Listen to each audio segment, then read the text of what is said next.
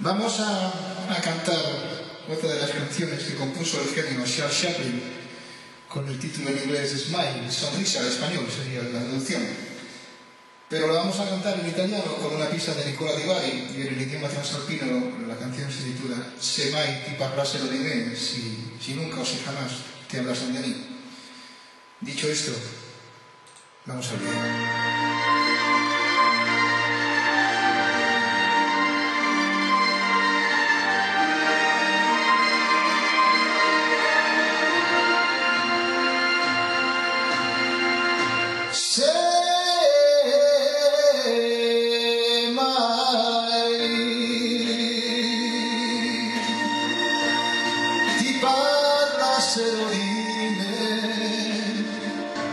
fossa sin fondo adentro, ve ahí.